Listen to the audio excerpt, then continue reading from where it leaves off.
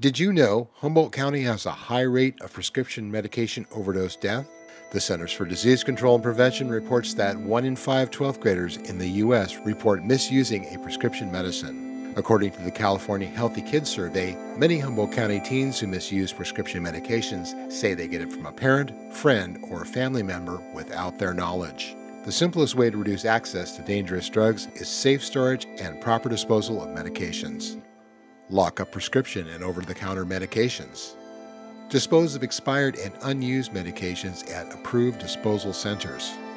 Keep track of the medications in your home, especially those prone to abuse. For more information about prescription medication safety and a complete list of Humboldt County medication disposal bin locations, visit RxSafe Humboldt at rxsafehumboldt.org or call the Healthy Communities Division of DHHS Public Health.